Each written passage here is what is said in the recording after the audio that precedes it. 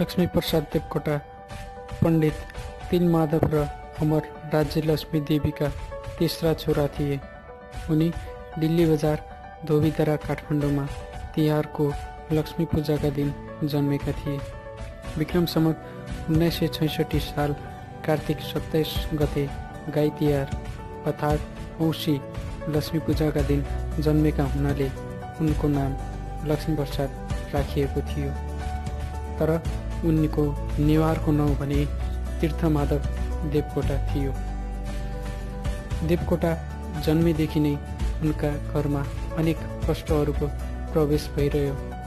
उनको घरको व्यवस्थापकीय ढाँचा पनि अत्यन्त दयनीय थियो। साथै उनको घरले गरिबीको रेखालाई नाग्न पनि सकेको थिएन। त्यसैले उनी सानैमा भन्थे म अङ्ग्रेजी पढ्छु र धेरै पढेपछि ट्युसन पढाएर पैसा कमाउँछु। तर उनी चाहिँ जन्मेदेखि नै रोगी थिए। देवकोटाले बाल्यकालमै नै अमरकोश घोडेका थिए र स्त्रोत्रमाला पढेका थिए। उनी सानैदेखि आफ्ना बुबाको कविता सारी सारी लेख्ने गर्थे। आफ्ना बुबाको कविता सार्दा सार्दै उनी भित्र पनि साहित्यको रस बस्न थाल्यो। उनले उनका बाबुले पण्डित बनाउन खोजेका थिए तर उनलाई लेखनप्रति बढी रुचि थियो।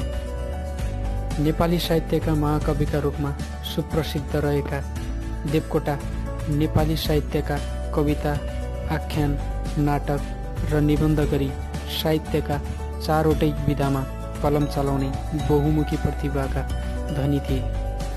उनले कविता र निबन्ध विधामा गरेका योगदानहरू उच्च कोटिका मानिन्छ। उनले मुनामदन सुलोचना शकुन्तला जस्ता आदित्यका कृतिहरू लेखेका हुन्।